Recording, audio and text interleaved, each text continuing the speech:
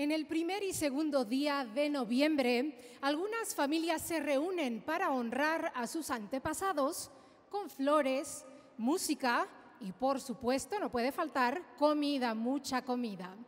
Muchos aprovechan los vientos fuertes para volar barriletes o cometas que representan el importante lazo de amor que existe entre ellos y sus antepasados.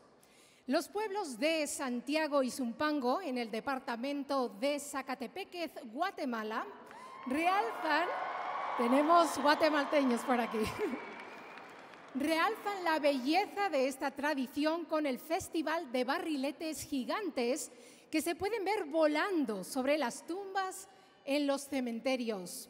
Sus colores y bellos diseños suben al cielo como símbolo de una fuerte conexión ancestral.